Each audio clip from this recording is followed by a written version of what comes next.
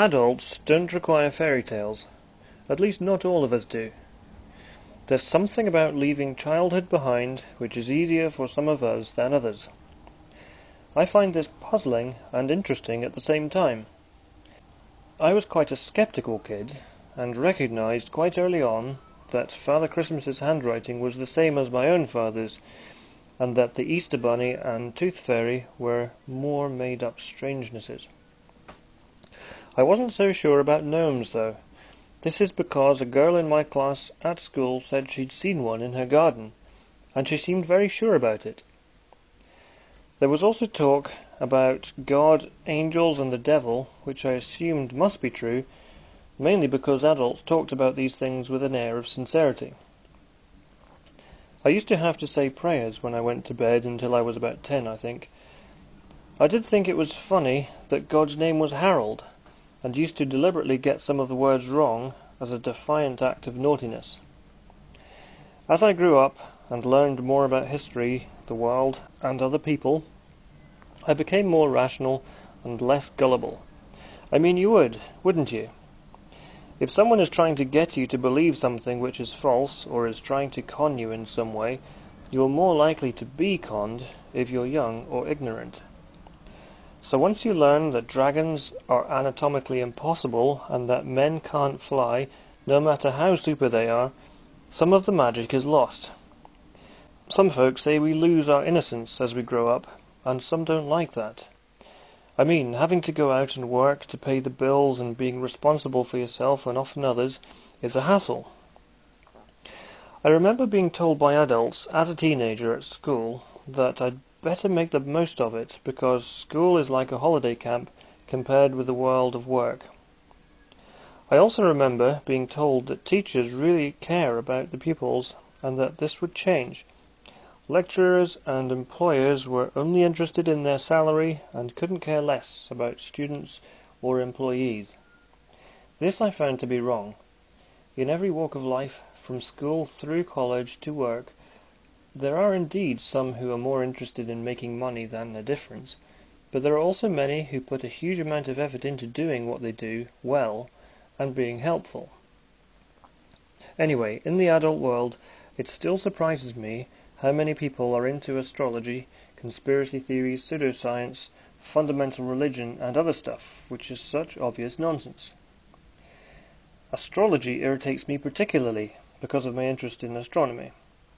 Most newspapers and a lot of magazines have daily horoscopes which could mean just about anything to anyone, and even on BBC Radio 2 in the afternoons they regularly bring in astrologers and people phone in and send emails and make important life-changing decisions on the basis of which parts of their orbits the planets are in, as if it makes any damn difference.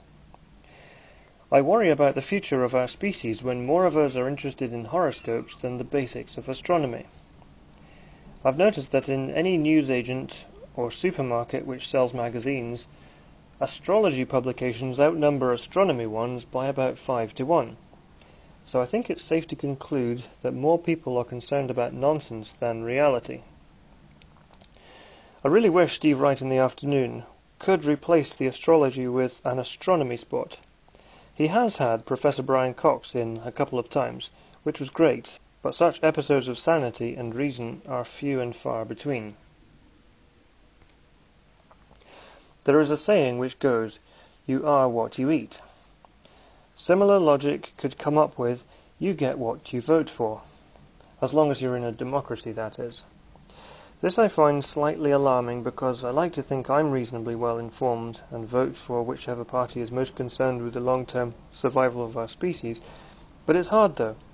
Hard to figure out how to vote, and I think that more people are swayed by personality and the charisma of the politicians than their policies.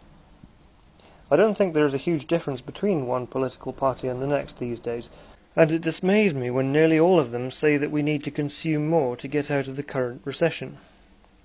I'm not an economist, but I fail to see how consuming more finite resources more rapidly will do anything other than make the situation worse in the long term. I've been too busy working to have got involved with the Occupy movement, but I agree with the general sentiment that the global financial economy is a hugely inefficient setup which is grossly unfair. I never understood why all governments and most businesses, to say nothing of billions of us ordinary folk, have to be indebted to the banks. I'm not suggesting we get rid of money, but the way things are set up so that a few people make a killing out of moving money around while the rest of us have to bail them out after they got it wrong is monumentally stupid. How did we let it get to this? As a species, we have some fairly basic problems to sort out. Thanks to labor-saving technology, we don't need everyone to be working to keep society ticking over. But everyone does need money to pay for food, clothes, and accommodation. So there is a shortage of employment available and an ever-increasing demand for money. People are desperate to make money, for obvious reasons, even if it means making and selling stuff which no one really needs. I wish that more people could be employed by organizations which ensured that clean water and sufficient food be brought to every human on the planet. I also think that people could be employed to grow, plant and look after trees, particularly in mountainous areas where they've all been cut down and on desert margins. These are just ideas, and I'm not sure how such things could be organized and paid for on the sort of scale I'm thinking of.